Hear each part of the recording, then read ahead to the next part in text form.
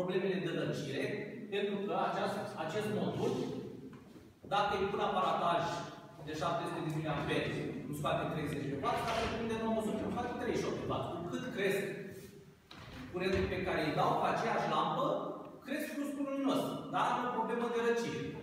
Și astea sunt întrebările pe care încercăm și cu colegii care chiar da poate lunată de fizică, dar poate mai rămân implicați în, acest, în această structură și aici o să avem o propunere către universitate să îi mai ținem pe lângă noi chiar dacă termină și să-i agrenăm în tot felul de colective de cercetare, pentru că chiar cred că există o oportunitate în a face un transfer tehnologic dinspre Occident către noi, nu neapărat, adică de ce să cumpărăm corpuri sau produse finite la costuri destul de mari, când putem să creăm aici facilități de producție, să producem noi și să exportăm noi produse cu valoare adăugată.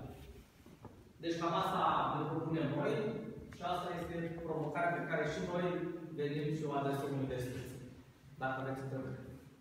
Am discutat cu cei de la Aerostar, cu cei de la Air Electronics să plantăm. Deci vrem să ducem până inclusiv a face aceste module, să le facem un backup undeva. Să le plantăm pe, pe aceste... Adică să, să ne creăm noi modulele. Putând aduce de la Osram la nivel de modul, adică la nivel de LED, banda LED care se extrage și plantăm, iar aparatajele care nu mi-aș bate capul să le inventez că le inventat ei. Dar știți că sunt unii la mărgini care fac treaba asta? Știu. La mărgine acolo ce, ce fac nu e, deci nu fac plantări pentru am fost, am, i-am văzut, am Fac plantări de SMD-uri pentru... Da, dar pentru tot ce înseamnă parte de mașini care au nu, nu sunt pe, pe plăcuțe, de, deci nu sunt pe aluminiu. Pe aluminiu, din păcate, nici pe electronic nu. La electromagnetic, care noi sunt singurii care finanțează pe aluminiu, am și instalații de la Samsung, am văzut și de la Fujitsu Siemens. Au acest modul.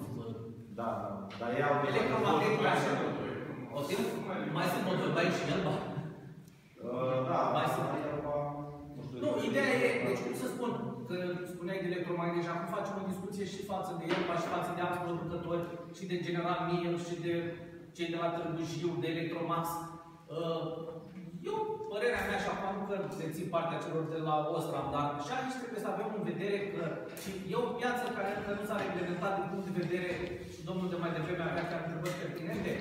Deci, există o, așa un avânt tehnologic, dar lumea încă nu stăpânește exact foarte bine, să zic, realizările în domeniu și atunci, în toată chestia asta, e o mai multă componentă de marketing. Pentru că, de exemplu, ne batem amândoi cu acele corpuri din China, care știu că sunt de generație 1, care au o, un flux luminos, o parafă de flux, dar le iau ieftin cineva de afară, foarte ieftin, care au o aruncă, le pun într-o corp și le scoate 170 de lei. Și te duci să explici omului, clientului final, domnule, stai un pic, că am un sector de drum, trebuie să am niște performanțe tehnice. Există un, un organism național care reglementează chestiile astea. Există uh, aceste proiecte luminotehnice care îmi dau niște lux la nivel de asfalt, niște clase de drum. Și atunci încep cu o grămadă sau, fac o paranteză, producătorii din China nici nu spun la dispoziție fișierele IES ca să poți să rulezi un proiect luminotehnic. Și atunci,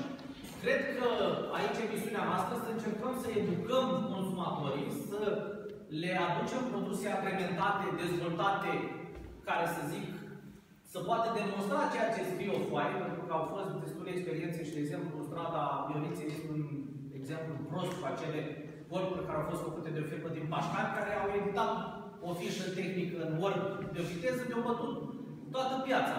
Promiteau niște randamente lumen pe vat care încă nu s-au descoperit, dar ei acum 2 ani le aveau 200 și ceva de lumen pe vat în viteză.